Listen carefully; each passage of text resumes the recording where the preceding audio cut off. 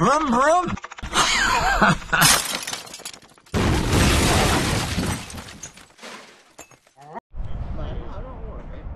Hi, Ivan. We're arrived at Brooklands. And it's not raining. right. So, what have we got today? Well, what it all boils down to, my dad and Salmson's all started here. They used to come from Peabody Buildings in Notting Hill, and my dad used to be a mechanic and he would ride in the car. And then after the war, obviously, hmm. the Salmson weren't worth like they were, and we bought a Salmson and I helped him get it going, so it's the first car I ever rode, had anything to do with. So then, I thought we've got to have a Salmson, and eventually I bought this car, a very lovely original car, but needed a lot of work. And it just so happens, by sheer coincidence, the first time this is going to be seen by anybody is at Brooklands. Wow. So, That's you brilliant. know, that's pretty good, I think. Yeah. Oh, okay. All done. Carry on, mate. I'll leave you to it because Thanks I've very got much. other people coming in. I'm sure you've got plenty to do.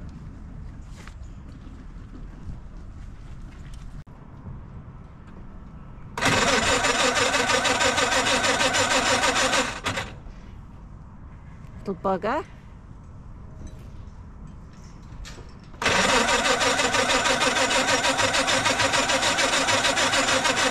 Isn't that amazing? It'll go in a minute. It always starts straight away.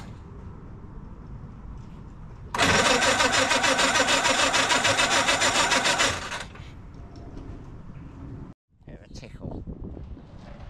Oh. Oh, shit. That's fuel pissing out.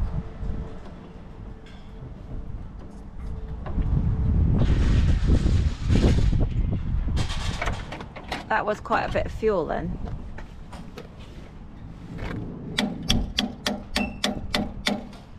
Toolmaker's tap. Do you think that'll work? Yeah.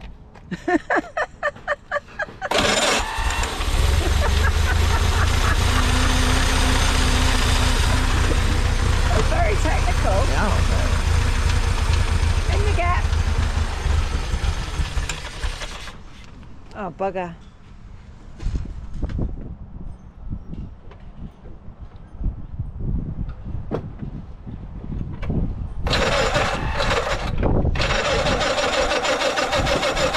Oh, you little bugger.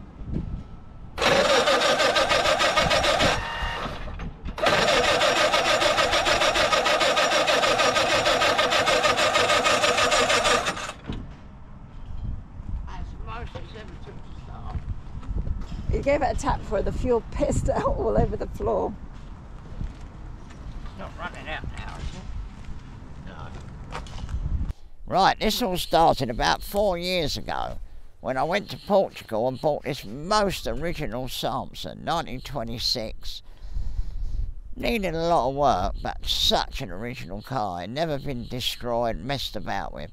Unfortunately, the woodwork was riddled with worms, and somebody had made a woodwork which wasn't a very good job. So anyway, we took it to pieces, and there are videos on Ivan's shed. Anyway, so here's the car. After having a load of work done, I'll go round it and tell you what we did.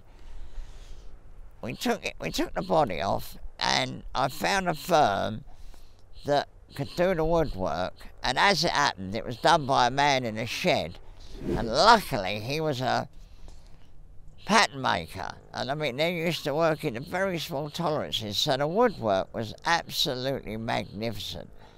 And originally, it was done in uh, beech. In, in apparently in uh, France, they use beech. But anyway, we managed to get the beech, so we went to a lot of trouble, got proper beech, and he made the frame. And then I took it and had the original panels put back, and they fitted perfectly. But anyway, when they fitted the panels, I said, don't knock all the dents out, because I don't want it looking like brand new. And uh, and there's a feature at the back which we'll look at, uh, which we kept. So anyway, I'll now walk round the car and go through it with you and tell you what we did and explain why we did it and, you know, and then you can find fault with us if you like, because we don't care. Anyway, so here we go.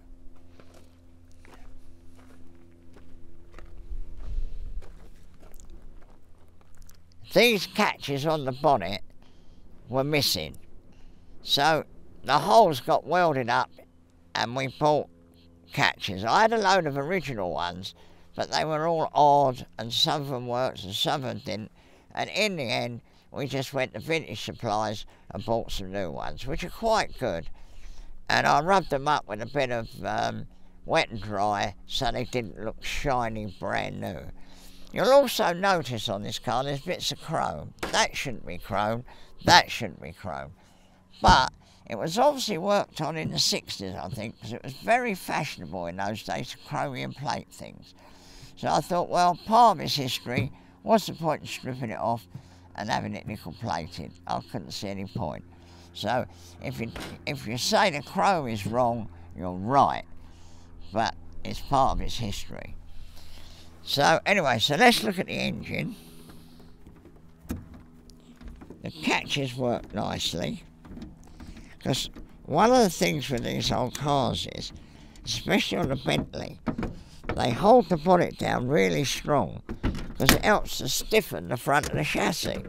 So if you get the bonnet really held down, it, it you know, and it's essential on a Bentley. Anyway, that's the original exhaust, and then we made an exhaust um, with a silencer, and that's the mag that was on it, and I worked on that and got that going. These are the original which obviously will get replaced eventually. But I tried to not touch it mechanically. I thought, let's get it looking like a car, my usual. So we cleaned the sump out and we've had it running uh, with the mag.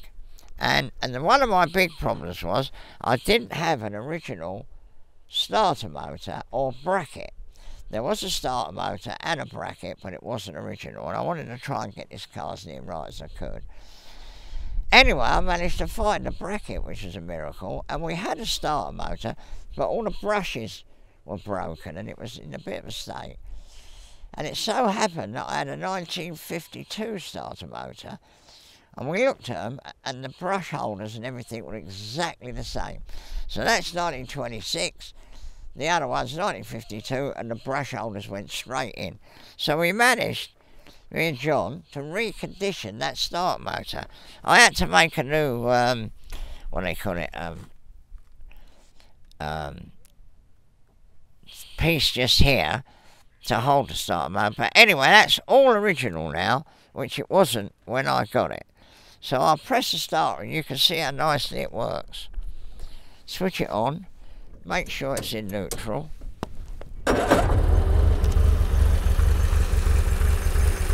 Now that works like a charm.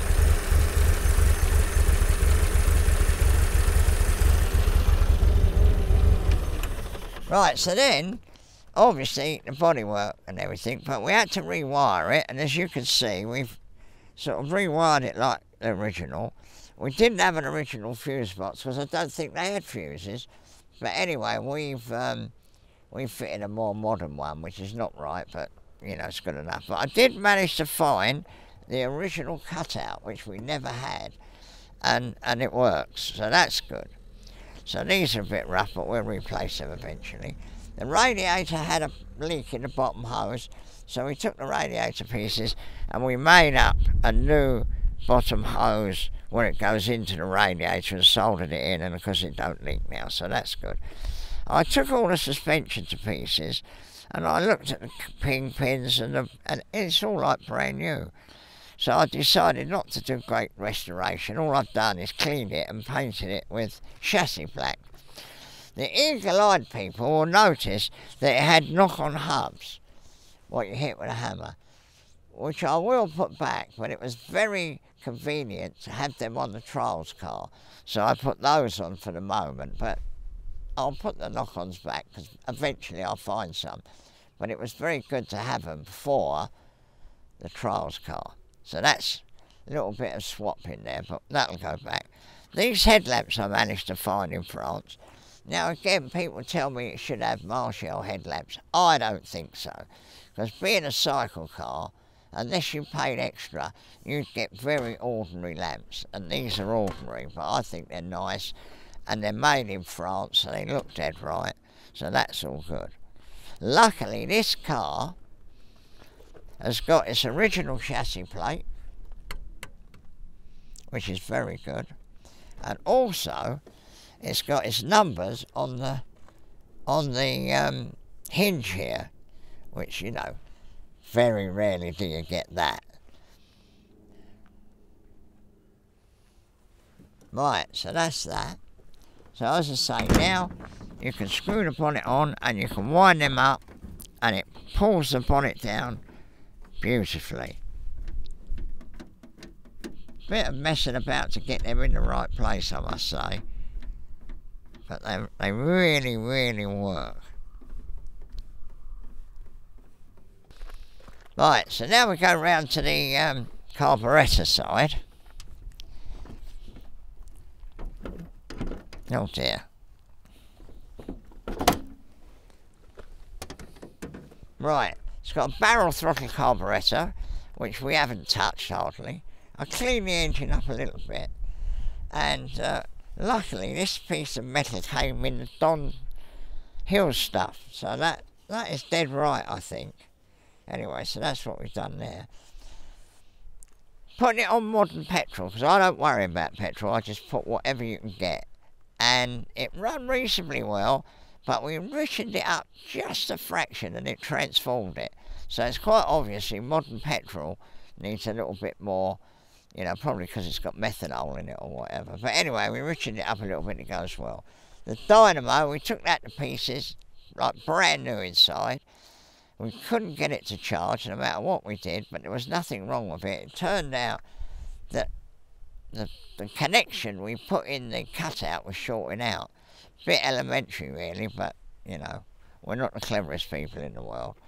The bonnet, I just had had it repaired. You know, there were bits of it that were a bit rusty and crabby, so we had it repaired, and you can see the repairs. So, you know, everybody will know what's happened to this car in the future. So, so now we get to the mudguards. These mudguards at the back These came with the car. They were rusty, but they were all right. Uh, it was a bit of luck, really, because the car was all loaded up. We were about to leave, and the bloke went, "Oh, I think," and he went over, and there they were. So we were lucky to get them. And one of the reasons you want them is because they've got this step, which you know it's a bit of a job for anybody to do that. Whereas getting on there, it's a lot easier. So anyway, so that was it. We decided to fit the rear wings but we didn't have any front ones.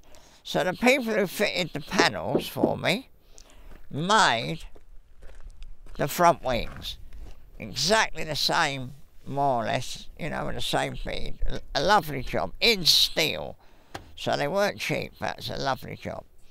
The other thing that we did, we fitted the original beaded edge wheels, because when this car was new, it would have had beaded edge wheels.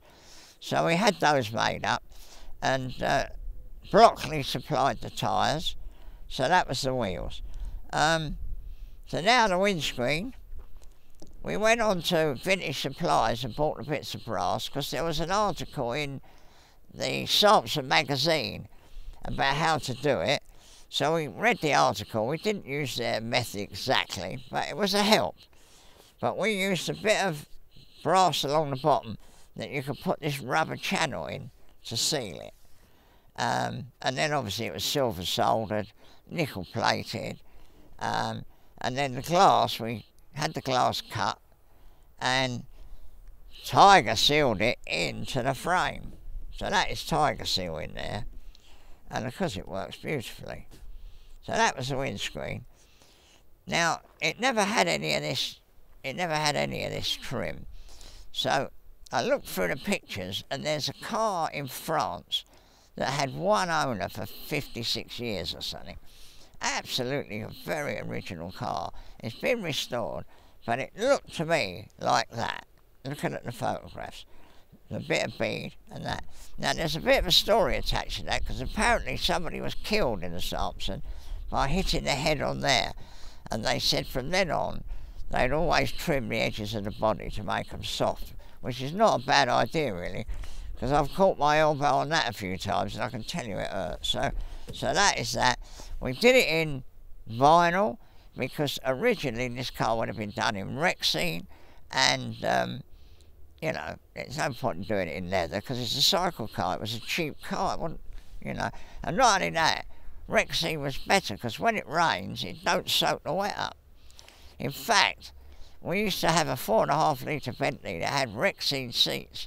And when it was new, they actually paid extra to have Rick Rexine instead of leather. So there's a bit of a story there. Um, again, because I'm, I like to drive my cars, and you can't expect everybody in the world to know about old cars. So if they haven't got stoplights, there's a good chance that they won't realise you're stopping. So this car is fitted with stoplights and lights. It isn't fitted with indicators, but that could easily happen. Um, and so that's why it's got all these lights, and that's why they're high up and everything. Not worried about originality, so long as it looks good, that's good enough, because you need that on a modern road. Now this bit here was on the original bodywork.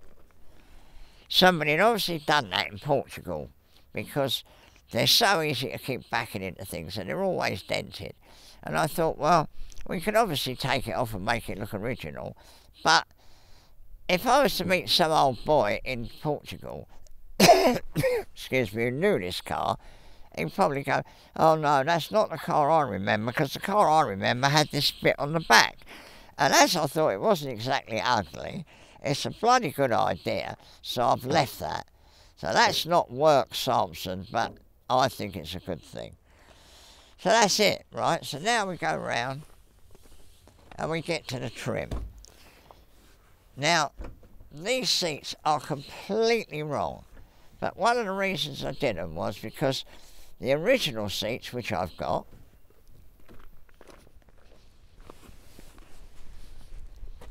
were very crabby.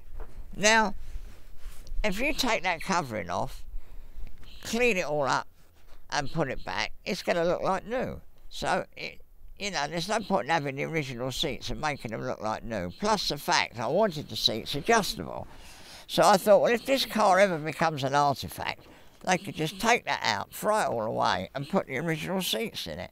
Because we happen to have them, which is a miracle, really. But the last thing I wanted to do was to make them look new. And I also wanted it so that my granddaughter could drive it, or virtually anybody could drive it. So as you can see,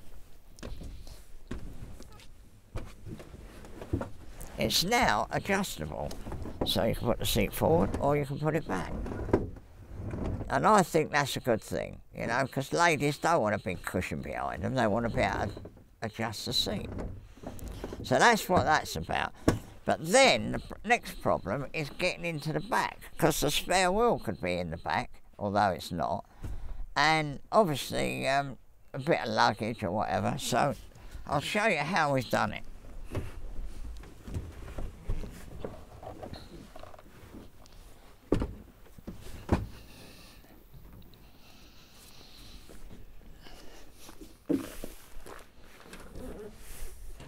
Come in here, Tanya, you'll see it. So this lifts out.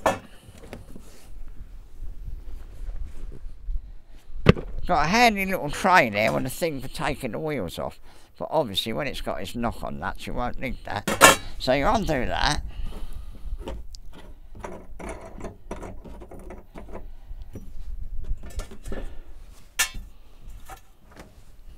And then that lifts up and you can put that lump of wood in there. That holds it. And then this this is a panel which I've made up which is going to need something a bit clever in this because when you drive it it jumps out. But anyway that's going to be really useful. And then you can see the woodwork. What a beautiful job they did of the woodwork. And obviously the panels all fit lovely but I thought this would be quite good because if it rains and you're going along, all that lot gets wet. So I decided to make this panel up, which drops in there, and then that goes on there. But we probably have to make something better than that because it does jump out. So there you are. So then, so then obviously you can put that down, screw that back. So see.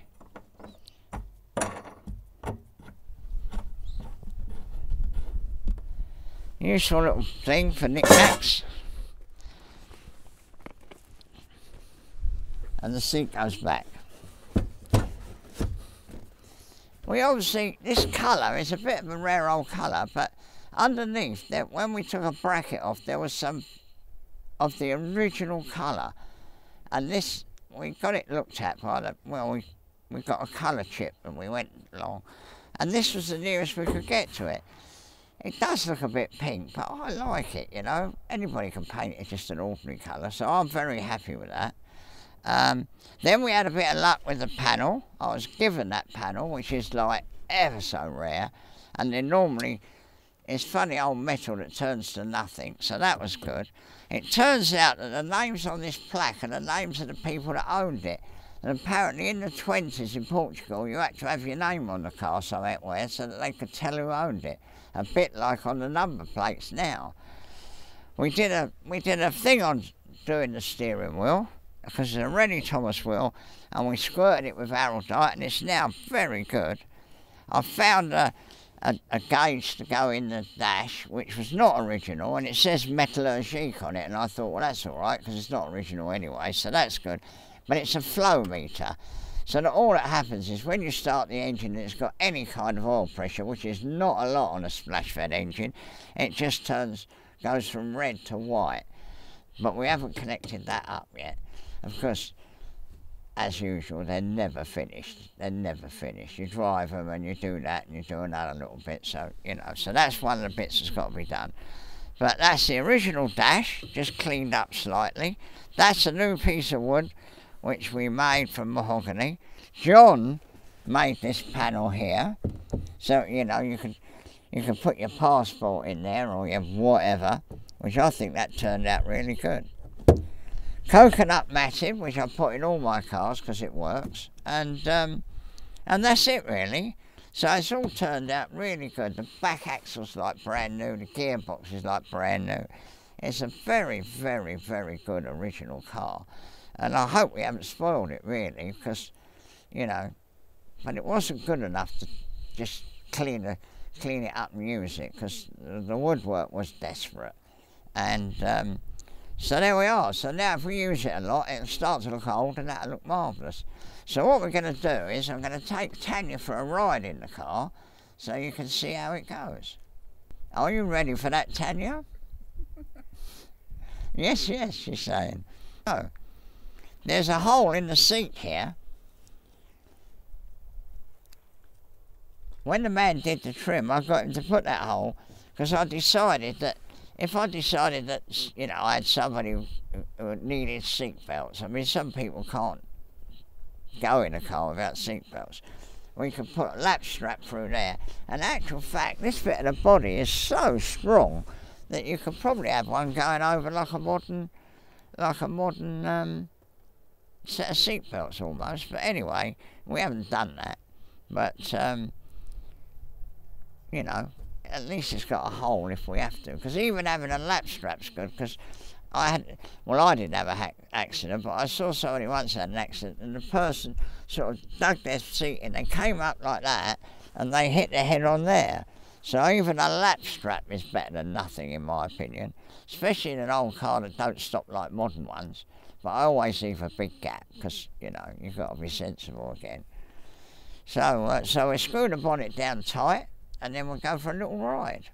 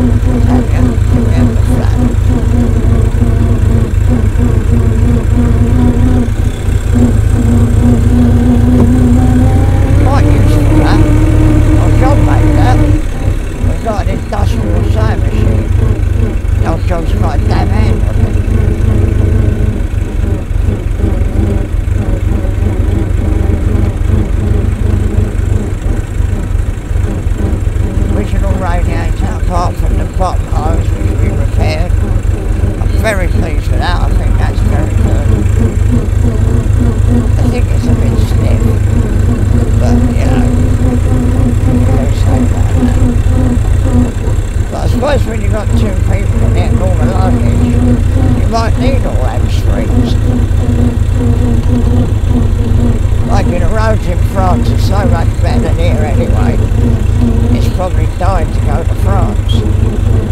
I took it to Brooklands on Sunday, but I was so tied up in the hall in Scotland, I didn't have much time to do anything with this. But it wouldn't start. It would not start. Brought it back home, flew the car right around and started straight away. Now it's quite obvious it had a bit of dirt in one of the jets. Oh, my nephew's here in the old dirt sunbeam room.